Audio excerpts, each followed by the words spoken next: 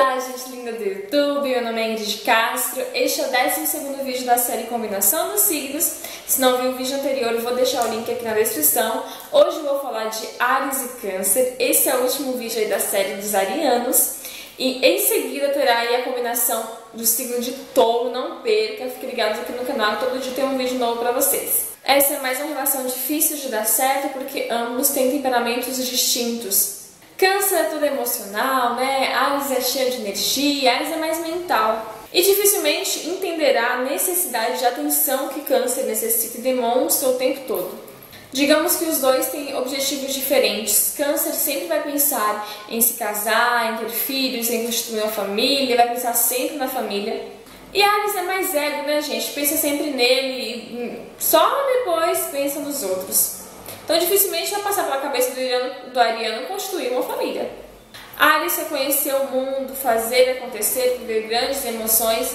Já Câncer quer ficar no seu cantinho ali, tranquilo, com sua família. Melhor programa para Câncer é isso. Dificilmente Câncer conseguirá lidar com o temperamento de Ares e vice-versa. Ares fará câncer se sentir fraco e ele não e Ares não transmitirá a segurança e a confiança que câncer necessita e busca numa relação. Ares não tem nada que câncer está à procura. Então, uma relação dessa você só perderá tempo, meu amor. Ares só partirá o coração do canceriano.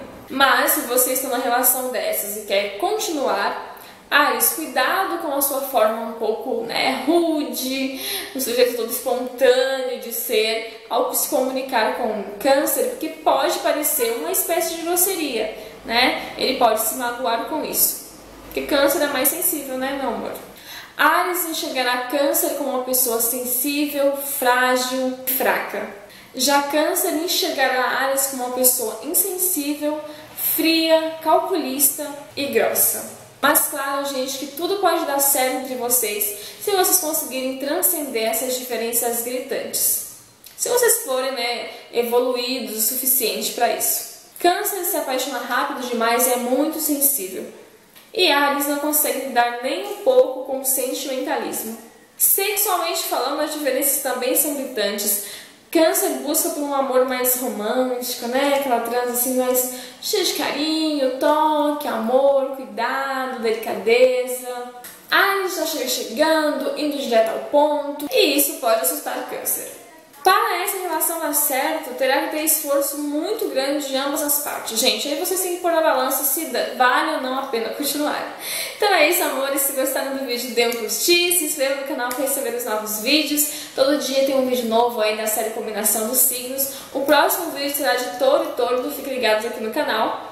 Comenta aqui embaixo o que vocês acharam desse vídeo, compartilhe o que você acha que deve ver. Meu Instagram é IngridVCastro13, me siga lá. Um beijo grande e até o próximo vídeo.